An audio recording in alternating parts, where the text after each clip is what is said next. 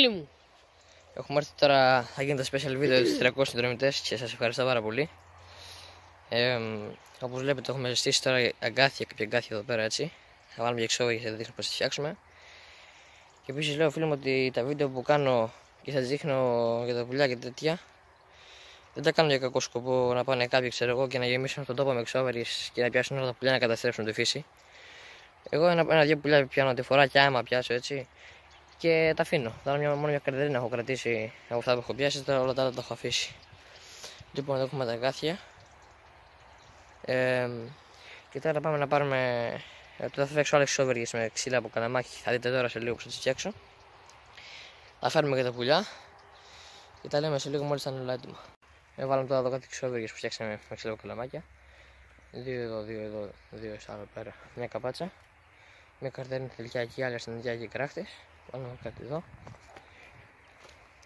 Έχω βάλει εδώ πέρα κάτι ξόβριες. Εκεί. Εκεί δεν έχω βάλει. Εδώ. Ε, το μεγαλύτερο σύστημα αυτό που έχω κάνει. Ε, εντάξει, άμα μακάρι θα έρθω να πιάσω ένα πουλί.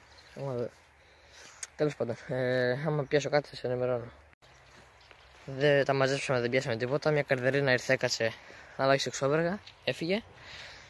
Ε, θα μαζέψουμε τα γκάθια. Τώρα έχω πάρει να βάλω κάτι εξώβεργες κάτω, εκεί πέρα. Γιατί έχει πολλούς πίνου και μην πιάσω και κανένα σπίνο. Και θα τα δείξω τώρα σίγουρα πού θα τα βάλουμε και θα δούμε να πιάσουμε. Λοιπόν, μια εξώβεργα εδώ πέρα με λίγο τροφή κάτω. Άλλη, άλλη μία εδώ πέρα. Μία εκεί. Και μία εκεί πέρα. Εδώ. Θα δω έχουν πολύ τροφή. Θα φάνε καλά τα πουλιά. Ε, αυτά για τώρα. Και άμα πιάσουμε κανένα πουλί θα συνεχίσω το βίντεο. Αν όχι θα το τελειώσω.